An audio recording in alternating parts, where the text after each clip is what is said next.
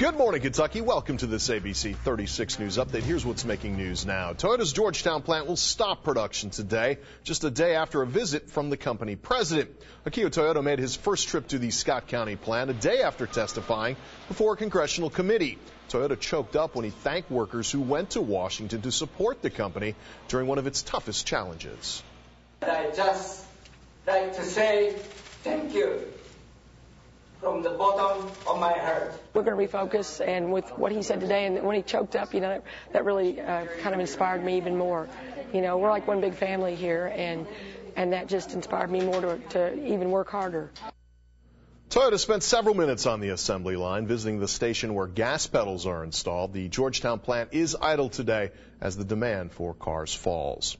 Governor Steve Beshear met with Mr. Toyoda at the plant. The governor says while the most important priority is customer safety, it's also important that Toyota receives a fair treatment in the federal government's investigation into safety problems.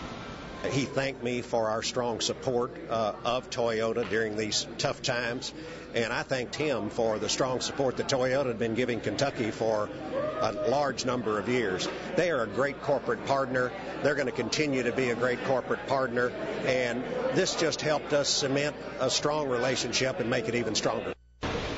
The governor called Toyota a friend to all Kentuckians.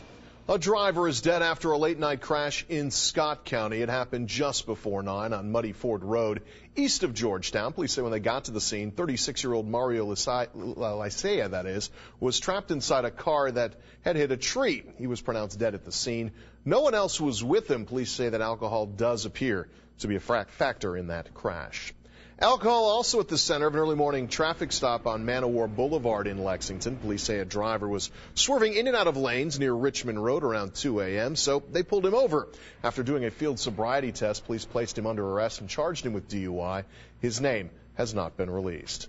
Fire crews respond following a possible gas leak in a Lexington neighborhood overnight. It happened around 2 on Vintage Circle, that is off Trent Boulevard. Firefighters say a woman called 911 after smelling gas in the area. When fire crews arrived at the scene, they called in Columbia Gas. Officials say no one was injured and no homes were evacuated. Well, Kentucky came out swinging as they tried to avenge their only loss of the season last night at Rupp Arena. Hall of Famer and basketball legend Magic Johnson was on hand to see the second-ranked Cats take on South Carolina. Freshman John Wall had 12 and 5 uh, points, 5 rebounds that is. Big man DeMarcus Cousin added 19 and 11. Patrick Patterson has 23 as the Wildcats won it 82 to 61. That is your update. Have a great weekend.